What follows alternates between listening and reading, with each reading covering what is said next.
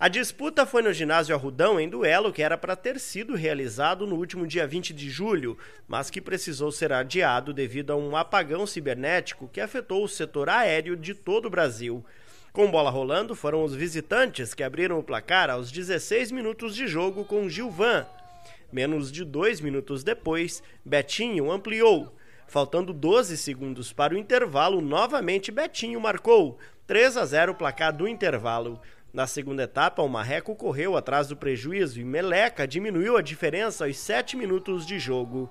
Um minuto depois, a Tirson marcou o segundo, mas a equipe mineira criou oportunidades e chegou ao quarto gol com Claudinho. Final, vitória da equipe do Praia Clube por 4 a 2.